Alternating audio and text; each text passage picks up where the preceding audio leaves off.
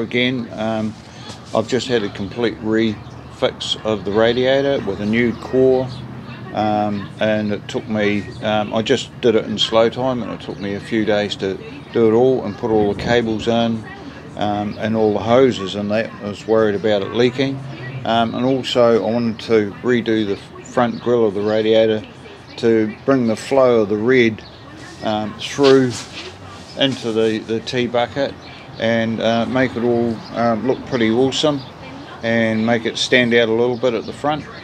Um, so here we go, I'll um, unveil the new front look. Voila! So um, it's a steel mesh that's been sanded down, uh, three coats of um, metal metal red paint, uh, brand new four core radiator uh, done by Hornby Radiators. Uh, well done. So thanks a lot. Cheers.